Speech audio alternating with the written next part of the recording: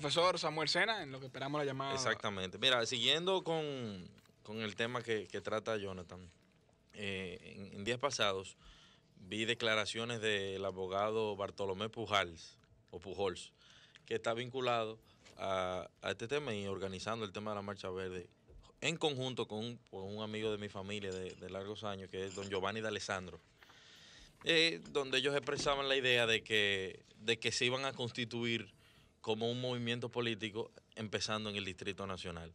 Y evidentemente ya se comienza, eh, se comienza a ver, Jonathan, que quieren dar un paso de formalización, de que quieren participar de manera activa. Y eso hay que saludarlo, porque si no le van a hacer coca. Perfecto, sí, pero no es tanto el tema de coca, sino que no es simplemente marchar en contra de la impunidad, es eh, dar un paso en, lo, en, en el cual eh, ellos puedan tomar las riendas eh, relativas del movimiento y, de, ese sentir de parte de la ciudadanía que se siente agobiada por el tema de la corrupción y de la impunidad.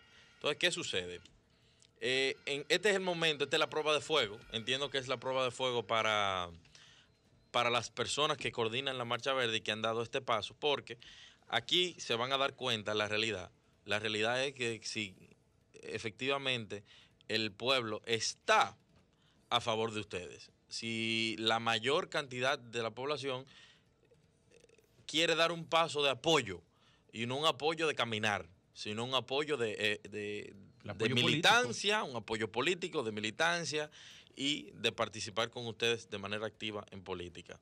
Eh, los saludo porque eh, evidentemente eso es la democracia, pero sí les advierto que este es el momento donde podrían ustedes desilusionarse al ver que no tienen tanto apoyo, porque definitivamente eh, las mayorías ya están bien distribuidas y esto, esto servirá para el sistema político, para los partidos tradicionales, como un termómetro para realmente medir qué tanto, qué tan efectivo o qué tan fuerte es ese sentir. Eh, importante, importante que la ley de, de, partidos haya sido aprobada en la semana pasada en Congreso por el hecho de que necesitábamos ese marco jurídico. Necesitábamos esa ley Oye, a los fines de poder organizar. El movimiento Marcha Verde puede ampararse en la nueva ley de, de partidos no, para poder. Deberá, deberá ampararse en, en, la nueva ley pueden... como movimiento, eh, pero es importante porque ya existe el marco. Entonces ellos pueden montarse en esa ley y eh, evidentemente. Pero, pero, pero que están confundiendo la cosa. La Marcha Verde lo que es un movimiento social que exige. No, tú, tú no escuchaste lo que, lo que dije. La, lo que la, dije. A, hace unos días vi las declaraciones del abogado sí, coordinador. Eso, ellos pero, van a constituir no, no. como movimiento político para participar en las elecciones y van a comenzar en el Distrito Nacional. No. Como agrupación política. Como agrupación política en el Distrito eso Nacional. Entonces, eso es lo que yo digo. Esta es su prueba de fuego.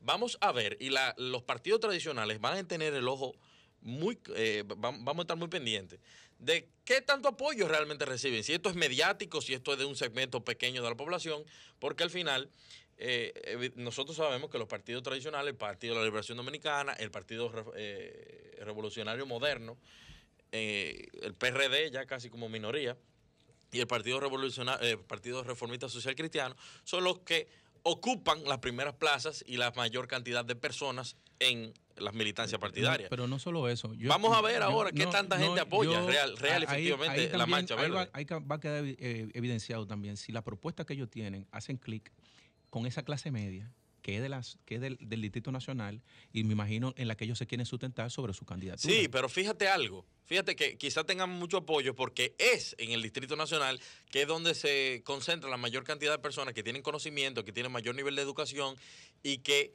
tienen acceso a Internet e información y comunicación. Para pa que tú entiendas algo, en la circunscripción número uno del Distrito Nacional es donde más se cubren los objetivos de desarrollo del minerio, del minerio donde tú tienes más camas para hospitalización, donde tú tienes mayor conectividad, donde Exacto. tú tienes mayor acceso a agua, donde tú tienes mayor eh, energía eléctrica. Y masa crítica, de, evidentemente masa Mayor crítica. poder adquisitivo. Entonces, vamos a ver, porque sus propuestas son de izquierda.